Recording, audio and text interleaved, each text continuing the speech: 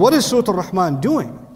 The surah came, the audience of it are people who are not religious, they're not interested in religion, they're not interested in the messenger. On top of that, they make fun of the religion. They couldn't be further from God. These are the people that Allah talked to in this surah.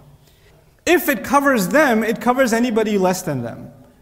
So there are people even among us who slip, who get away from Allah, who go far.